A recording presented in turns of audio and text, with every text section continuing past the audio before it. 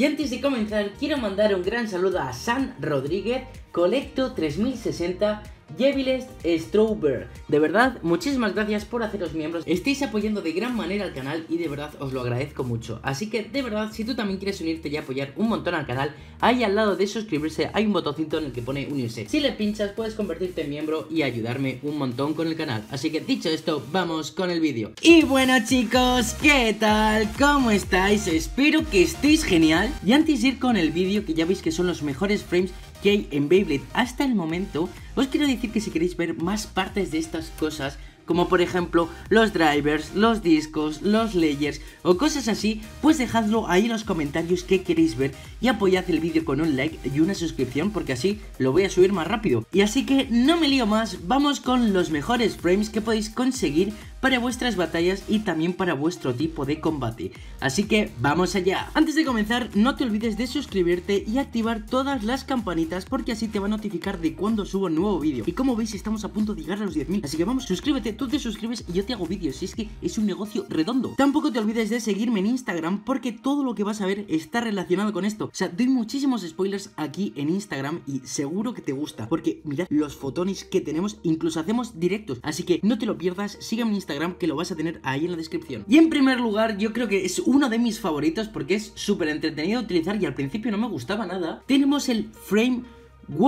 Que lo vimos por primera vez con este Choset Spriggan o Turbo Sprisen y la verdad que al principio a mí no me gustaba nada porque rozaba bastante con el suelo pero me di cuenta de que no le estaba dando su buena utilidad. Como veis, tiene el peso apuntando hacia abajo por lo que baja el centro de gravedad, así que si consigues un buen combo, por ejemplo con Beating, es sumamente brutal. Además, también es de los más pesados, por lo que te va a dar mucha más defensa y eso, hacedme caso que es demasiado bueno. En los combates, como veis, es que es súper efectivo. Además, como hay veces que roza con el suelo, se puede salvar de salir del estadio.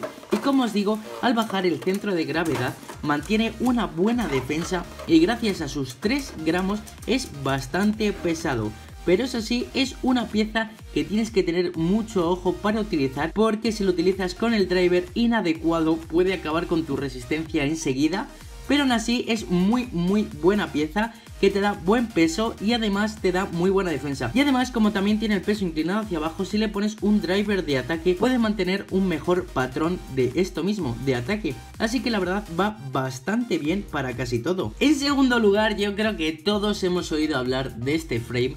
Tenemos a Cross. Que antes de que aparecieran los siguientes era el frame por excelencia, que como veis, por su forma es un tanto extraño, pero la verdad es que para los God tenía bastante vida después de muerte y además con estos piquitos puede dar un buen ataque que se va a parecer a un frame que vamos a ver más adelante. Sería como un híbrido entre vida después de muerte y puntos de contacto para ataque. La verdad es bastante bueno. Hasta los God pues era lo más utilizado ya lo sabéis. Tenía bastante vida después de muerte. Ya sabéis que con este Sprite Requiem o Spriggan Requiem se utilizaba un montón. Era el frame más visto y la verdad es que está bastante bien, tiene un buen peso, te ofrece también tener algunos puntos de contacto por si acaso el Bey contrario se inclina, también tiene vida después de muerte. Pero lo dicho, en los combates es bastante bueno, incluso cuando se inclina tiene un buen punto de contacto y puede llegar a burstear a su rival, de verdad, es bastante sorpresivo.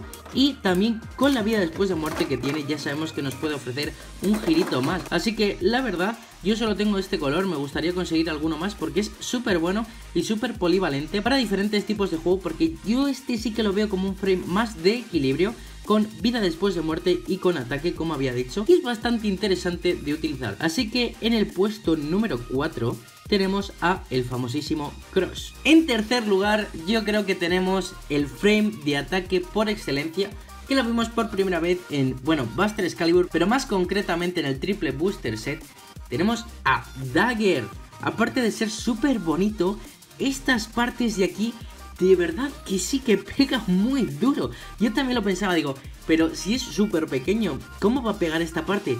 Pues sí, de verdad pega muy duro y además si lo sabes alinear con los puntos de contacto de algún bay, porque hay algún bay con el que queda exactamente a su medida, como son por ejemplo los Excalibur, pero también hay algunos otros, es súper bueno, le da un poquito más de peso y el ataque es más consistente. La verdad es que es muy sorpresivo cuando el bay contrario se inclina, le pega con esto, pega súper duro. Además puede burstear a casi cualquiera también con este punto de contacto y además no tiene tanto retroceso como otros frames. Lo dicho, en los combates es muy bueno, apoya muchos puntos fuertes de contacto para tener un mejor ataque y de verdad que pega duro, o sea, cuando pegan con el frame sí que te puede burstear.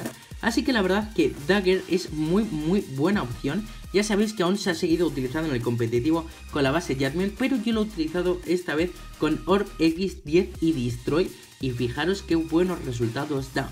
Así que en el puesto número 3 tenemos el bello dagger de Buster Excalibur. En el puesto número 2 yo creo que es un frame un tanto infravalorado, pero a mí me encanta porque es una muy buena sustitución de algunos otros. Tenemos a Expand, que para mí es el sustituto de Proof. Si no tienes Proof, este frame es una pasada. Tiene muchísima vida después de muerte, sobre todo para giros izquierdos y derechos. Es increíble, además de que también tiene muy muy buen peso. No tiene el peso tan inclinado como este Wall, pero la verdad, tiene mucha vida después de muerte. Además, al tener las pequeñas alitas así, sí que es verdad que aligera un poco el bay, el contacto que hace con el estadio y disminuye un poco la fricción que hace pero de verdad es sumamente bueno y además es un poquito más ancho de lo normal, por lo que te puede dar un poquito más de resistencia. Ya sabéis que lo vimos con Air Knight y la verdad, vaya maravilla. En los combates, como veis, gracias a su peso es muy difícil de mover y además también cuando roza con el estadio consigue que no lo saquen de este mismo. Y como veis, explota a Jackman Joker, aguanta los golpes de Jackman Joker y lo consigue bustear. Así que, de verdad, este frame es una maravilla. Es muy fácil de conseguir más que cualquier otro. Así que de verdad, si tenéis la opción de comprarlo, ni lo dudéis porque es muy muy versátil. Así que en el puesto número 2 tenemos el Frame Expand. Y en el primer lugar yo creo que es un frame que todos queremos, que todos deseamos, súper polivalente, vale para todo. Tenemos a el queridísimo Proof Madre mía, o sea, es que normal que a este frame se le quiera tanto. Tiene buen peso, tiene buena resistencia, tiene la mejor vida después de muerte que cualquier otro frame. Es una pasada. Es que además te sirve tanto para defensa como para ataque, como para resistencia y como para robo de energía. Porque gracias a su peso sirve para todo. De verdad, lo puedes utilizar para cualquier combo. Ya sabemos que se utiliza mucho más para robo de energía, lo cual lo veo muy bien porque es súper eficaz para ello. Ya sabéis que es que no tiene nada con qué rozar. Siempre va a tener un giro más que el rival. Por eso me parece tan brutal y al ser tan redondo, tiene muy buena defensa y también gracias a su peso. Lo dicho, en los combates también es sumamente bueno. Obviamente lo he utilizado con Geist Fafnir porque es su bait por excelencia con el que tiene que ir este frame y es muy muy bueno. Siempre va a tener un giro más porque ya sabemos que el robo de energía de Fafnir es brutal y si ya le añades este frame es de dioses. Así que de verdad este frame es súper bueno.